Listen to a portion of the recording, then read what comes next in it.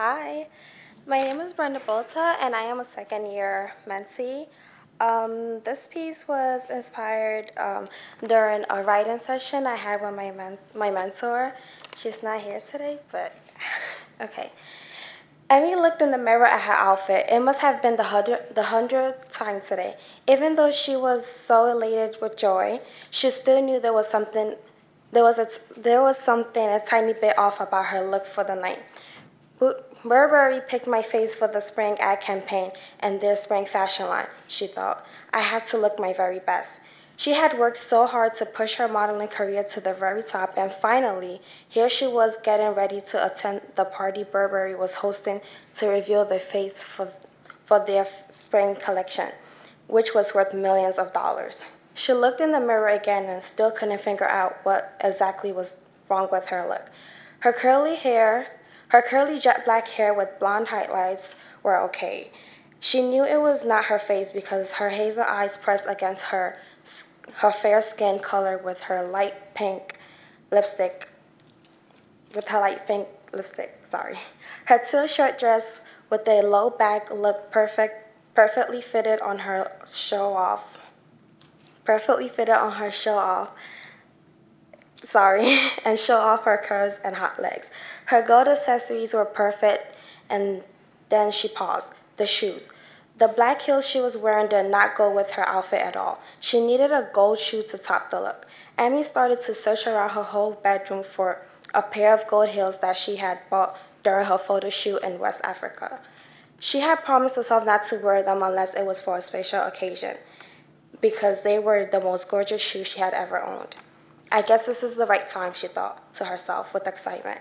Sylvester, her marketing manager, had been right. She remembered what he said as she was stepping off as she was stepping out of the plane in Africa for the Burberry shoot. Just do your best because I am so certain that you will make the face for the spring ad. You have what it takes.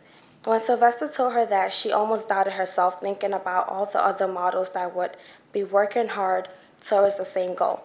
She remembers stepping off the plane and hugging Sylvester, saying how much it meant to her. As Emmy departed to the left to walk towards the man that held her name and a card at Charlotte Hotel, and Sylvester departed to the right towards his land towards his Land Rover, he turned around and shouted to Emmy, Try taking a tour around the neighborhood before you leave next week. You'll love what you see. I will, Emmy shouted back with a smile. Emmy remembered it every single day from, the, from that Sunday night she arrived in Africa until she left. She was amazed at how easy she adapted to the African environment. Most of all, all the incredible artifacts she had saw on her tour. Emmy snapped into reality when she heard her text tone from Gertrude, her best friend. Hey, what's up? Hey, what's up? Hey, what's up? Can you send me the address of the lunch of the lunch again? Gertrude's text read. Emmy replied back with the address and added how she was excited to see her. Emmy started looking around her room again for the heels. She looked behind her white, white and beige curtain, but it wasn't there. She opened up her dark wooden wardrobe and checked the floor where all her shoes laid, and it wasn't there. She checked the drawers of the drawer next to her bed where her pink lamp sat on. Wasn't there. She stood in the, she stood in the center of her of her bedroom on her beige heart-shaped carpet and placed her hands on her hips, tapping her teal-painted nails against her thigh. With a confused face, she wandered her eyes around her room, trying to figure out where she didn't look. Then she hit the side of her head with her palm, thinking, duh, the bed. Why didn't I look under there from the start? She knelt down to the floor and tilted her head down to see if she saw, to see what she saw under the bed. Spotting a shoe box, she smiled and pulled out a black and white shoe box, hoping they were inside.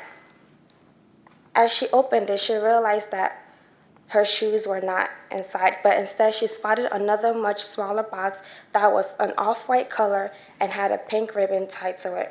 Her smile slowly faded. Her, her hazel eyes seemed to look very clear as tears formed in her eyes and she felt a lump in her throat. She identified this box immediately.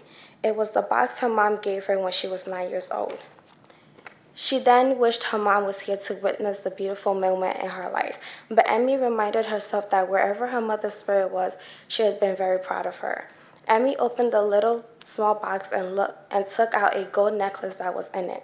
The memory of her mother telling her how it was a special necklace from a special friend and how she should never lose the rush back to her. As she looked at it, she realized it's, it would look very nice with her outfit rather than the one she had on. She gently cleaned the tear that was about to fall from her eye and picked up the jewelry slowly to put it on her neck. As she lifted the jewelry up, she spotted she stopped and stared with a confused face at the carvings on the necklace.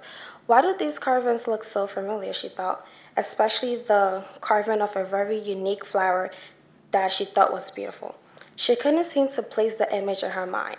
She looked at the rest of the carvings and slowly started to form an image in her mind of where she saw the carvings. She placed the necklace on her huge white comforter and picked up her iPad that was laying on her black desk her black computer desktop. She typed in her password, pressed the Google Chrome icon, and typed in the Woodson Memorial. I knew what she thought, what is, with, with a surprise. She looked at the carvings in the Google image of the memorial and that of the necklace and saw that they were the exact same carvings. How can that be? she thought. She remembered her tour guide vividly saying the carvings were very unique and couldn't be found anywhere else. But here they were on her necklace hundreds of miles away. Thank you.